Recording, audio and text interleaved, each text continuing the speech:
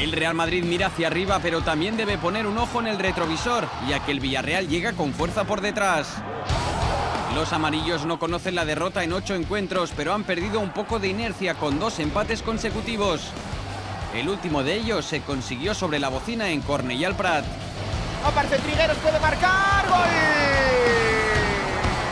Pero, pero no, nosotros veníamos con la intención de ganar. Hemos empatado cuando quedaban escasos minutos que podíamos haber perdido, pero en ninguno de los casos nos sabe victoria. Los de Marcelino tienen el cuarto puesto de la Champions en sus manos, ya que ostentan un colchón de 7 puntos sobre el Celta de Vigo, en quinta posición.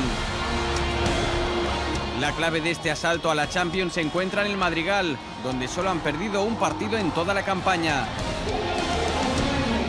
El próximo visitante es el Granada. Los andaluces ganaron un duelo fundamental contra el Getafe el fin de semana pasado que les sirvió para salir de la zona de descenso. Atención a su disparo. He visto que mi equipo está por decidir que quiere quedarse en primera división. Hoy se ha visto un equipo con alma, hoy se ha visto un equipo generoso, solidario, eh, haciendo caso omiso a todo lo que se estaba hablando por fuera. Y, creo que ese es el equipo que todo, todo, afición, todo aficionado del Granada quiere ver, ¿no?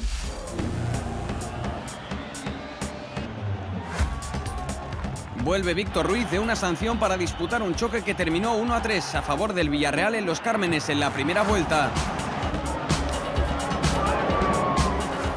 Por parte del Granada, Viragui está disponible después de cumplir un partido de sanción. Sin embargo, José Ramón Sandoval no puede contar con dos piezas importantes en ataque, como son Adalberto Peñaranda y Edgar Méndez por lesión.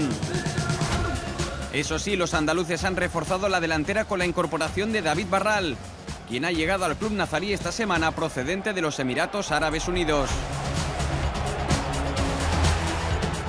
El Granada intentará ser el segundo equipo después del Celta de Vigo en conquistar el Madrigal, en uno de los partidos más atractivos de la jornada 22 en la Liga BBVA.